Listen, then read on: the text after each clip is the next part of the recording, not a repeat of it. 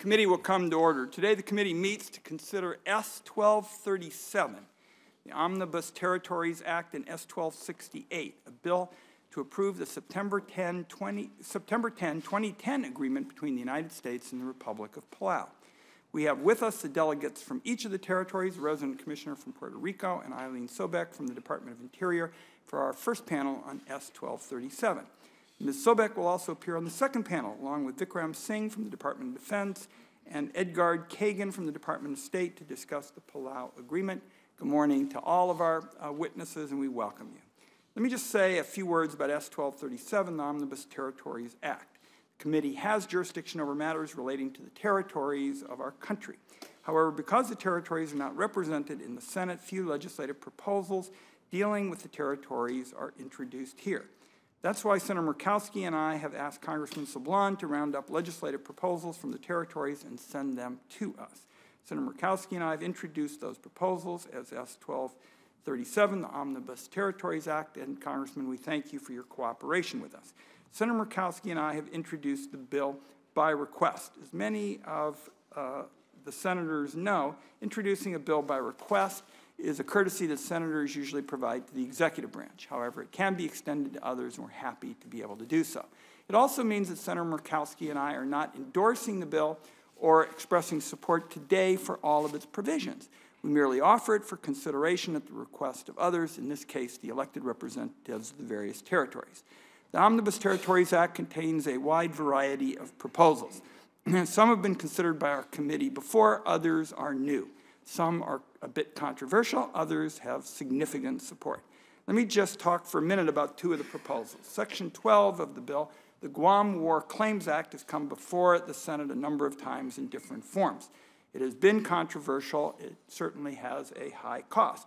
Few would deny the extraordinary heroism and steadfast loyalty of the citizens of Guam during World War II.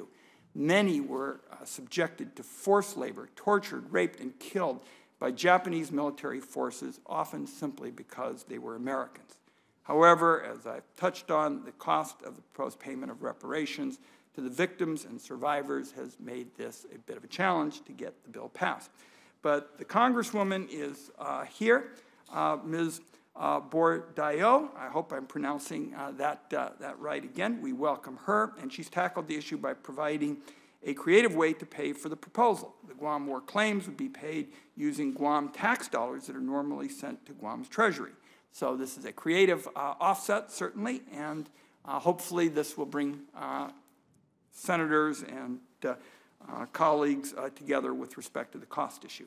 One of the new proposals in the bill is Section 9, the temporary heating and energy assistance to the Virgin Islands, a provision designed to help those who have been hit hardest by the significant spike in electricity prices on the islands. When the oil refinery on St. Croix closed last year, the islands faced something of a double whammy, where they were hit with big job losses and a huge increase in the cost of electricity. The economy of the islands has been devastated. And Congresswoman Christensen has been doing a lot of hard work on this. The governor has, the Departments of Interior and Energy and local leaders have all been uh, toiling diligently to address this economic disaster.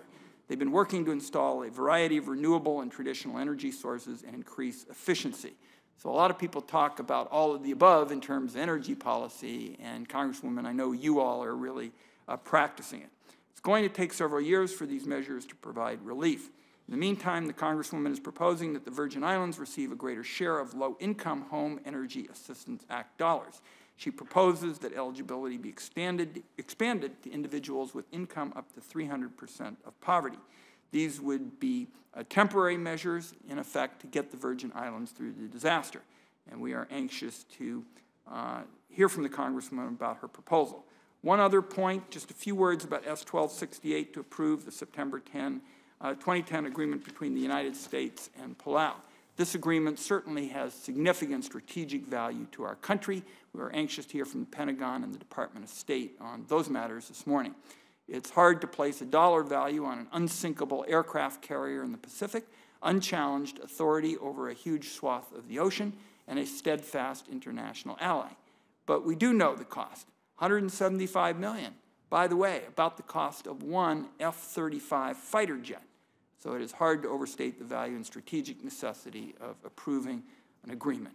I hope the administration will continue to work with the committee to find an acceptable offset for the Palau agreement so that America can address an important national security uh, issue. My friend and colleague, Senator Murkowski, is here, and I want to let her make uh, whatever statement she chooses.